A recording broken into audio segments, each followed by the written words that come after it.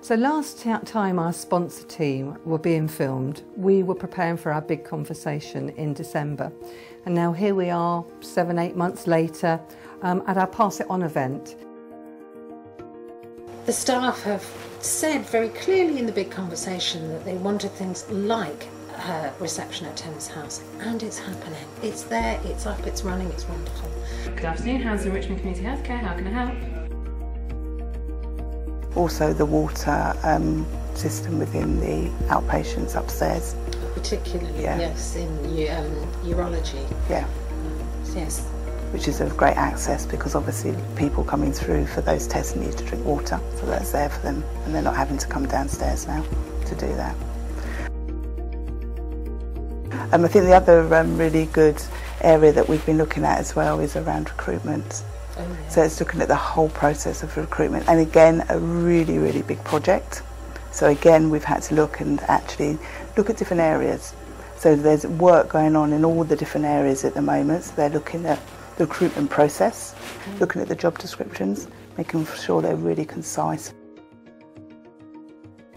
One of the other areas that's all been successful is also having an equipment um, storage now in the gym. Um, previously, the actual equipment was stored unsafely within the gym, and now they've actually got a equipment storage which is safe. So, with the gym equipment having been unsafely stored, a Datix would have been completed for that, and that links very nicely into the project that I did, which shows that the lessons learned are being looked at.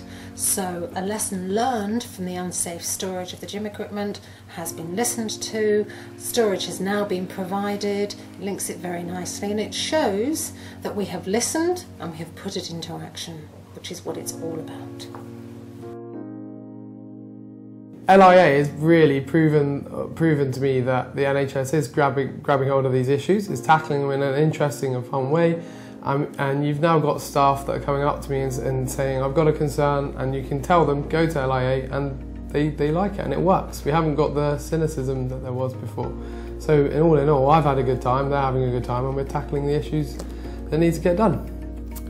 So this isn't the end of a journey, this is a time for you to come forward with your ideas, your suggestions, the quick wins, um, the teams, the things that will make a difference to pass the baton on and to continue our journey forwards.